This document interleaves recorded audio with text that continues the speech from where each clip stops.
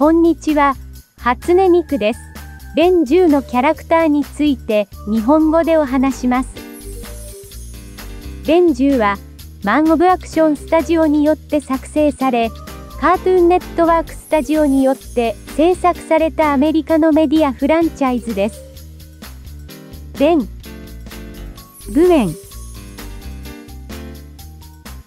ケビン、おじいちゃんマックス、ジュリー。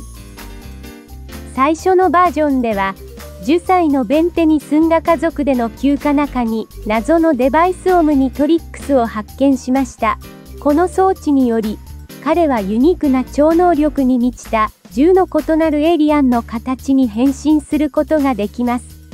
2番目のバージョン、つまりベン10エイリアンフォース。15歳のベンはおじいちゃんマックスが不思議なことに姿を消した後、リーダーの役割を果たします。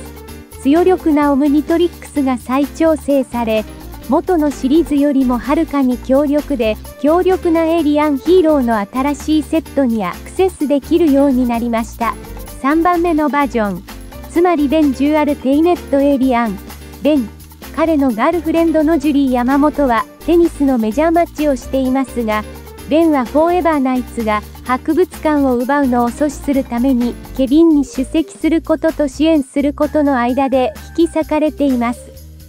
そして最終版、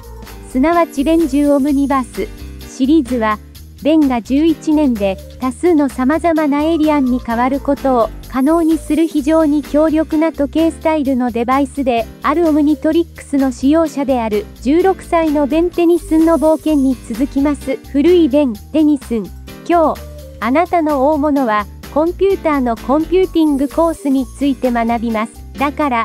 このビデオは日本語でベン10文字です。いいね、コメント、そして今すぐ購読してください。